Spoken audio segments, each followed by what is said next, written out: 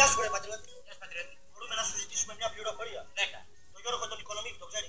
Πώς δεν το ξέρω, είναι τόσο σπουδαίος. Μπράβο, σε ευχαριστώ που μιλάς έτσι για το φίλο. Και πήγα στο Γιώργο. Βεβαίως. Είσαι τυχερός. Δεν μου λες μήπως ξέρεις που μπορώ να το πετύχω. Εδώ πιο κάτω είναι το ιατρείο.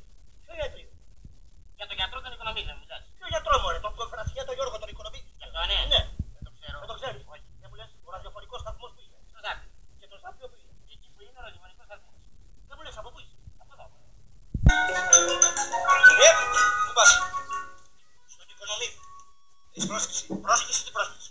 Χωρίς πρόσκληση απαγορεύεται. Εγώ έχω καθήκον να σου πω ότι λέγομαι Θανάσης Κούτρας και πρέπει να βρω τον Οικονομίδη γιατί είμαι συγγενής του. Μακρινός και πρέπει να πάω κοντά για να γίνω πιο κοντινός. Άντε πέρα. Θα σταματήσουν τα πάντα!